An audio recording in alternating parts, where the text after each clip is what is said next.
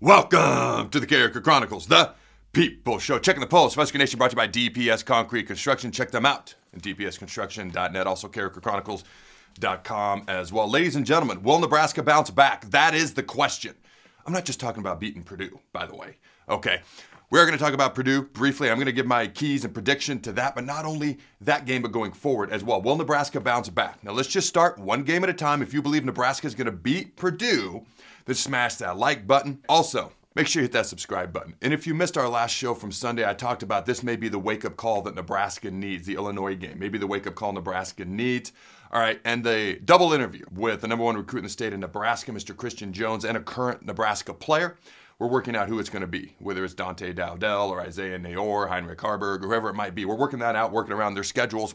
That's going to go up on Thursday now. Okay, but make sure you subscribe, hit that notification bell so you don't miss any of the stuff we're doing here on the Carriker Chronicles. Now, I do want to let you find folks know, and I pay attention to what the people have to say. All right, I read messages whether you send them to me at carrikerchronicles.com, the website, whether it's on so, my social media accounts, which is Facebook. Yes, I'm on TikTok now. X, whether it's my brought back from the dead like Lazarus Instagram account. Okay, and of course, YouTube, also on Apple and Spotify as well. I do read the messages you find folks send me. So here are some of the ones that kind of stood out to me after the Illinois game, heading into the Purdue game, and the rest of the season going forward for Nebraska. All right, and my beautiful bride, Angie, is going to put these up on the screen as well. All right, the first one you don't find out who you are when times are good. It's in trials and tribulations and how we handle them that defines us. Nebraska lost a totally winnable game. How will the team respond? And then they appreciated my last video. Another one says, This team reminds me of the early Osborne teams. They haven't learned the killer instinct when they get the lead and seem satisfied to sit on a lead, and the coaches lack the ability or the smarts to make adjustments at halftime. By the way, this is what they're saying, okay?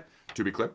I would like to see more adjustments throughout the game, in fairness. Now, I hope this is the kick in the pants for the whole program to wake up and realize the level of effort that is needed throughout the whole game of four quarters, baby. That said, this has been refreshing after last year's debacle. All right, ask Skurs News on Twitter, give them a follow. Rhule said during his presser they need to go back and reevaluate what they're doing on defense. Do you believe it can be fixed at this point in the season with the personnel we have? That was what he asked the fans on X or on Twitter, whatever the thing is called now. And uh, he talked about obviously we can't switch mid-season from a 3-5 to a 4-3, so what can be done to improve this defense? Okay, I don't think they're going to switch schemes, by the way. Now, what he talked about in his X tweet, Twitter post, thingamajiggy, uh, improved tackling. I think too much time and energy was given during the offseason to get takeaways. We forgot how to fundamentally tackle. It's a fine line. It's a fine line between working on tackling and working on takeaways. It's a fine line in a game between trying to make the tackle and trying to make the strip tackle or the strip sack. The best way to do it, the first man in, okay, tackle. The next man in, strips once you've got the tackle secured, by the way. Then he mentioned be more aggressive. Last year we were blitzing guys from all over the place. This year we are trying to get home with three and four guys. It's not working. What else? That's what he asked. Give him a follow on X. Now I will say this we were getting home with three or four guys, and I was loving it. You got to be able to adjust. If you're not getting home with three or four guys, then you got to bring extra guys. You got to make those adjustments. All right, the BA Coaches Show, at the BA Coaches Show on X. He said, rewatching this game now. I can't lie, our defense looked atrocious. This was his take. I believe they can turn it around, but the defensive back play was extremely poor. I have to call it like I see it. Now, Red White Corn Sports responded to that and said one theory is last year Tony White's defense was new and different. Now the Big Ten had all year to study it and exploited it. If that's true, we need to either disguise our coverages better and not show what we have shown in the past. As a coach, how feasible is this to do during the season? So that's a fair point. I think back to the read option days with Colin Kaepernick before the whole knee thing, and RG3 was running the option rookie of the year, offensive rookie of the year in 2014. My former teammate's locker was right next to mine. I was right next to London Fletcher as well. My point is simply this the next year, all of a sudden defenses were playing it much better. These coaches get paid a lot of money for a reason. And they don't have a lot of downtime in the offseason, but they got more downtime and they spend it learning how to get better at what they struggled with the year before. Now the question is, because Tony White's a good coach, the question is, what adjustments is he going to make to their adjustments to what he did? Okay, and it's tougher to do in season, but that's part of being a coach.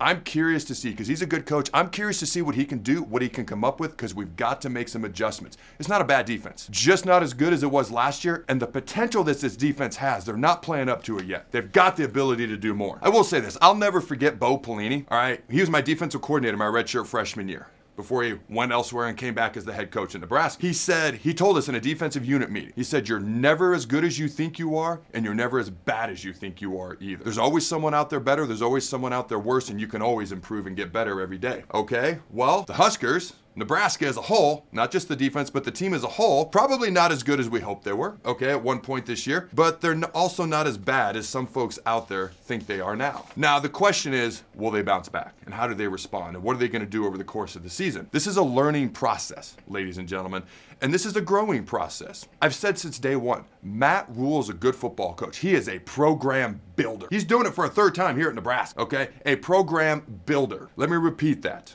Okay, he's a good football coach. I don't know if he's a great football coach simply because he's never stayed anywhere long enough. We don't know. But he is a program builder, and I can't wait to see what he does over time here at the University of Nebraska, starting with Saturday versus Purdue, then Rutgers at home, and then a bye week, and then at Indiana. I'm putting the cart before the horse just a smidge. But here's the deal I've seen a lot on social media this week where Matt Rhule has struggled versus ranked teams. Matt Rhule, 2 and 20 versus ranked teams in his career. He's lost his last 14 in a row versus ranked teams. By the way, Nebraska's lost their last 25 in a row versus ranked teams since 2016. Not enjoyable stats, but they are what they are. This is the same thing I've been saying since day one when we hired Matt Rhule. I said he's a good coach. He's never stayed anywhere long enough. Once he builds a program up, he's always per se gotten a promotion you know, from Temple to Baylor to the Panthers, etc. He's never stayed anywhere long enough in college football for us to find how he can do against ranked teams once he builds a program up. Hence the record that it is right now. There's a learning process here. Matt Rhule, okay, this is a guy that's going to learn and grow and get better as a coach. Okay, we will find out whether he's a great coach over time as he learns and develops and grows. And he, he's told me he doesn't plan on coaching anywhere else. He looked me in the eyes and said, Adam, I don't plan on coaching anywhere else. I do believe he'll get Nebraska back to winning a lot of games. And then once the program's built up, then how do you do versus ranked teams? We're going to find out. All right, it's a learning process. I'll never forget uh, Coach Osborne. It's out there. You know, he lost his first six games to Oklahoma. Finally won his, his first ever game to Oklahoma on the seventh try. There was a point in time where Colorado was trying to take him away because there was a lot of heat here in Nebraska, yet they knew he was a good coach. He stayed because he was telling recruits, hey, this is the place to be. So he felt like if he left, he was lying man of integrity. I also remember him telling me a story after the 1990 season. They just kind of got waxed versus co-national champ Georgia Tech in the Citrus Bowl. He gathered all the coaches up. He said, you might want to start looking for jobs. They might let us go. Okay, it was 22 years, ladies and gentlemen, before he won his first national championship. The greatest coach of all time. And I, I say that with all due respect to Nick Saban, the Bear, because look at what's happened since he coached here. Nebraska is a phenomenal place. But he did it here. And to me, that makes him the GOAT. So my point is simply this. If the GOAT took a while, let's be in this process together. And I hope that makes sense. All right, now how does Nebraska get back on track? It starts by beating Purdue. Nebraska is a nine and a half point favorite as I sit right here, right now, over the Boilermakers. Purdue is one and two on the season. All right, and their two losses are by an average of 38 points.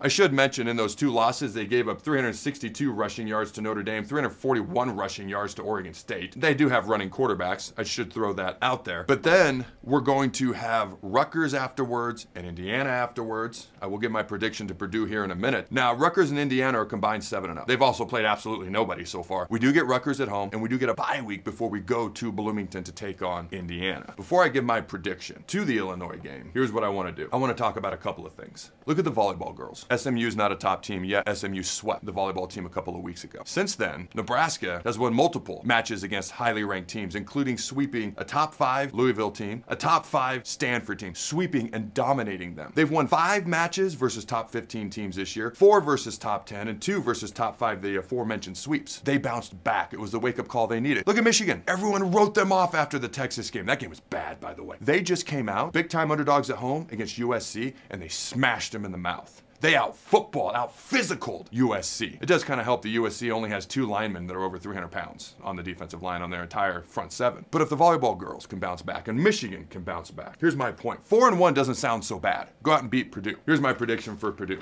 All right, we're averaging 31.5 points per game. They're averaging 25.7. We're giving up 12.8 points per game. They're giving up 34.7. I have Nebraska winning 31 to 17 on the road. Dylan Raiola's first road game. But let's get to four and one. Let's say we beat Rutgers. We're at five and one. All of a sudden, five and one doesn't seem so bad. And I still feel really good about my eight and four record prediction. And I said after the first seven games, I never once said we'd be seven and zero. I said six and one. And you know why I said that? Even though I figured we'd be favored in every single game, the first seven games of the year, because there's going to be a freshman moment. There's going to be a, a bad bounce of a ball. That ball is shaped funny. It bounces all over the place. There's going to be a bad call Pause for effect on that one. And I said we'd be six and one. Let's get to four and one. Very doable. Then Rutgers at home. Then a bye week. Then Indiana. It's very doable. Got to be at least five and two. If we ain't five and two after seven games, we got some issues. But I absolutely believe we can be six and one at worst case, five and two. To come out and predict that we'd be seven and zero oh back in the preseason, I just didn't feel like we'd earn the right. You got to earn that right to get the benefit of the doubt, even if you're supposed to be favored in all those games. All right, here's my keys to the game and my keys going forward.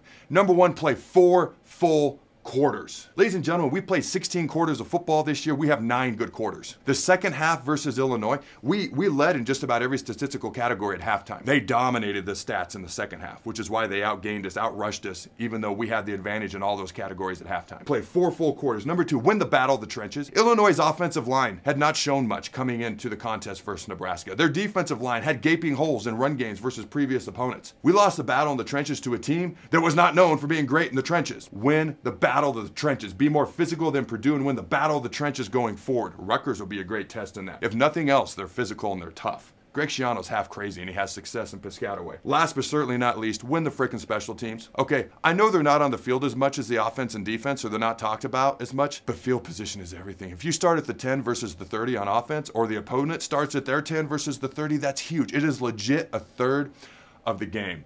All right, ladies and gentlemen, I'm going to be joined by our resident local orthopedic expert who joined us last year, and he's, gonna, he's back this year, Scott Strasburger of Syracuse Area Health. But before I bring him on, I want to give a shout out to our sponsors, DPS Concrete Construction. You can check them out at dpsconstruction.net. They are your concrete experts. They are retaining wall experts, and you're in specifically the Omaha metro area hit them up at dpsconstruction.net if this is your line of work. Want a great boss is Jason Armstrong. Go to dpsconstruction.net if you want this type of work done. dpsconstruction.net. I also want to give a shout out to Allen Capital Group. All right, they have offices in Ogallala, Omaha, Grand Island. You can check them out at allencapgroup.com. That's A L L E N C A P group.com. These are the folks who take care of my family's finances. They have for over a decade. I'll just be honest with you. I fired my previous financial advisor. He was awful. I didn't trust him, and that was nerve wracking. Once I got to know them and they earned my trust, which they fully have, my mind was at ease and my family's financial future being secure like it is puts my mind at ease. Check them out at allencapgroup.com. Allen Capital Group, next level solutions for next level needs. Now, ladies and gentlemen, let's bring on Dr. Scott Strasburger. And we're back, ladies and gentlemen. Now I'm joined by renowned orthopedic surgeon, Dr. Scott Strasburger. A little bit more about him. He joined us a couple of times last year. We're happy to have him back again this year. Now, Dr. Strasburger is a former a third team All American, two time first team All Conference performer for the Huskers, and was a National Football Foundation and Hall of Fame Scholar Athlete Award and Postgraduate Scholarship Award winner. Our resident expert, Dr. Scott Strasburger of Syracuse Area Health. How you doing, my friend? Hey, doing well, Adam. Good to see you. Good to be It's back. good. Yeah, it's good to see you as well. And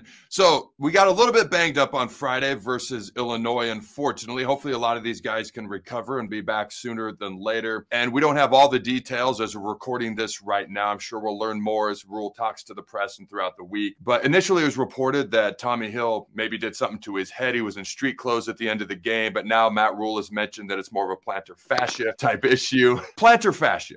Yeah. What, what the heck is that? Why is this such a common problem? And what can be done about it, whether you're an athlete? My, my mom is like 75 and she has issues with her plantar fascia.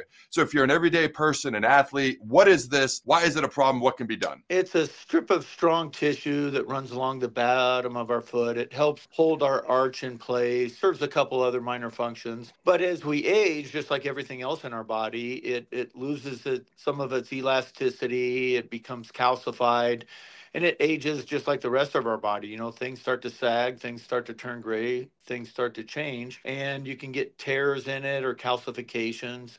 And these little changes in the fascia can can create pain. And in the younger athletes that we see in high school and college, they'll get little tears in it, and those usually resolve in days or weeks. But if you start getting recurrent microscopic tears, you know, it, can become a chronic problem and sometimes can ultimately lead to the need for surgery. There's nobody on the team currently reported with turf toe, but I got to share a story. We yep. had a, a longtime Husker legend, and I'll keep names out of this for the moment, but when I was a player, he came and spoke to us as a team. And we had a particular running back on our team who was missing time because of a turf toe. Toe. And I'll never forget, he's talking to the team, and out of nowhere, he goes, And what the heck is turf toe? What is that? Back in my day, we would have played through everything. And I remember looking at the running back because he was in the front row, and you could just see him kind of getting a little beet red because everyone knew what he was talking about. So I'm just kind of curious because I've never forgotten that, and I've never asked you about it. What exactly is turf toe? And it has to be way more serious than it sounds because I know guys you've had it, and it's very, very painful. Yes, and and we all know who you're referring to in the conversation. um, uh, uh, turf toe is the the lining of the big toe joint.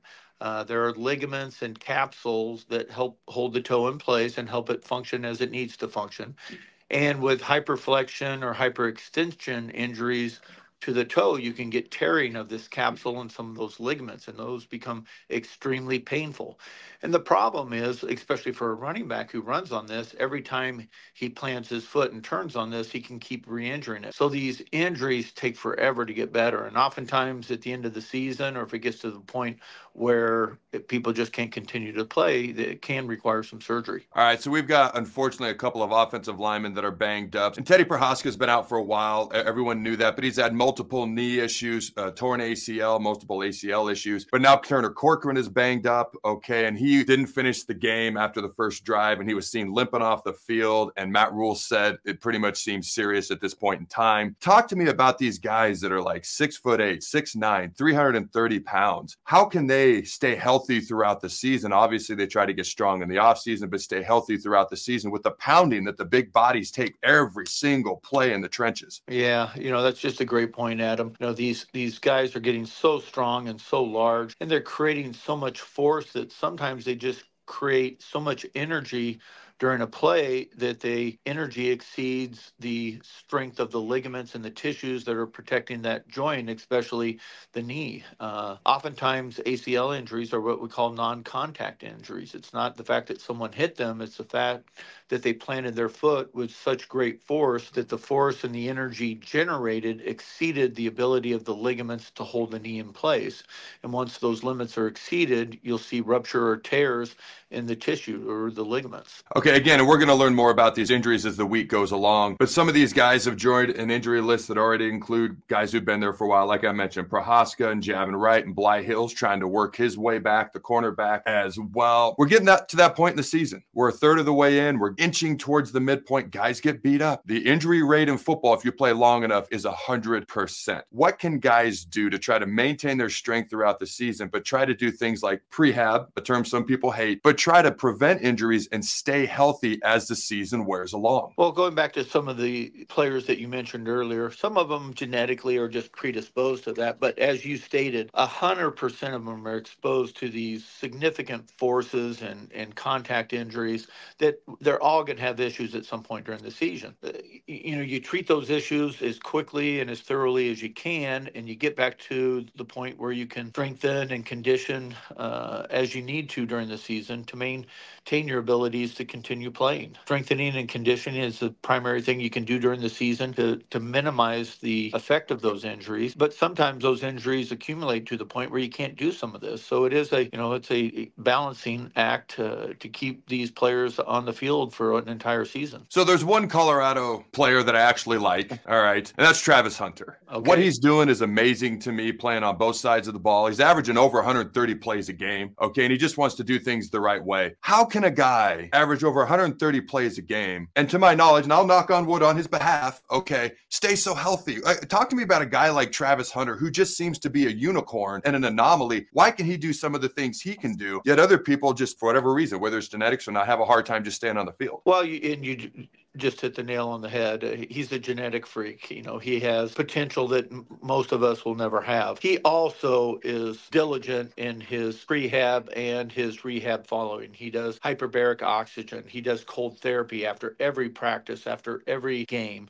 He is dedicated to his profession 110%. So he is working harder uh, than the rest of us, but he's also doing things before and after his workouts that most athletes and players aren't aren't considering, like hyperbaric hyperbaric oxygen, cold therapy, things of that nature. Here's a question I've always wanted to ask. And the simple answer is they're just used to being hit more. But here's the question I have running quarterbacks seem to get hurt less to me than pocket quarterbacks. And maybe it's just because they're used to getting hit more often. But if a pocket quarterback takes off and run and gets hit hard, everyone's like, oh my God. But if an option quarterback does it, nobody bats an eye. Why? Why? Is it just that they're used to getting hit more? Am I, am I missing something here? Expectations are different. Yes. Adam. Okay. Um, is that it? That is probably the mainstay there. Um, there are other factors. You know, these athletes are maybe made a little bit different, but I, I think you're absolutely correct. These guys are used to getting hit. They're used to having some mild bumps and bruises, and they they can deal with it during the game. They don't need to come out and be seen being evaluated in the medical tent after those things happen. All right, I'm going to ask you a question on I got 6 kids, they all play multiple sports. I coach my son Jacob from 4th grade football all the way to 8th grade football. So I'm going to ask you the question I've been asked a million times. When it comes to head injuries and the safety of young kids playing football, is there an appropriate age that you you think exists for them to start playing football? Does it just completely vary from kid to kid? What are your thoughts on the head concerns of parents and kids playing tackle football at certain ages? Well, well, we obviously are addressing the head injuries much more aggressively than we used to, Adam. And that's the most important thing. We're making changes in blocking and tackling that that will decrease or diminish the degree of the head injuries significantly. You know, with little league kids, uh, one of the biggest factors in, in head injuries is speed and size, and we just mm-hmm. don't see that in the little league that we have to be as as concerned about. They're not falling as far, they're not getting hit as hard, but they still can get head injuries. You can see that in, in in Little League basketball, Little League soccer. You know, that's why heading the ball in Little League soccer is is treated differently than it is as as the soccer players advance in age. So we're doing a lot of things in a lot of sports to try to diminish the exposure to head injuries, but they still will happen. And when they happen, they need to be diagnosed accurately and treated accurately. And, and a lot of the protocols really used to be a lot of middle room for for interpretation. Now it's pretty black and white who can go back and play and who can't following a head head injury. Here's what I tell parents because it's going to cross over a lot with what you just said. My wife coaches club soccer, and it is actually illegal to head the ball until a certain age. It's a penalty correct, in the game. Correct. And that was one of my wife's big concerns was teaching heading properly. She actually brought in someone else to help, and now she's more comfortable with it. My experience in football, I'll just be blunt. I've seen more head injuries than flag football because kids run into each other, but there's no helmets. Correct. Okay. And like you said, it's smaller bodies. They're not going as fast in tackle. They got these pads. Half the time they fall over just because they've got the pads on. They aren't used to the weight of the pads. And so for me, I started Jacob in fourth grade because I didn't feel flag was any safer. And he's a big kid. Flag football is not made for big kids. So that was part of it too. Plus, he was begging me since the second grade to start tackle football. Is, is there a last question I got for you? And it might vary from kid to kid, but is there a particular age like, hey, fourth grade, fifth grade, sixth grade, seventh grade? My dad didn't let me start till seventh grade playing tackle football. That you'd recommend parents let their kids uh, start playing tackle football? Well, you know, every kid develops neurologically a little bit different. So I don't think there's an absolute answer for that. A lot of that is developmental, but the, I think the important thing, Adam, is we're recognizing that these injuries occur a lot more often than we thought. Uh, we recognize the injury and we're treating it much more appropriately now. So recurrent injuries are far less than what they used to be. You know, it used to be someone came over on the sideline, got some smelling salts, and went right back in. We don't see yep. that happen. We don't see that happen. Yes. You know, there's there's great advancement in diagnosing and treatment now. So I think that's the most important thing out there.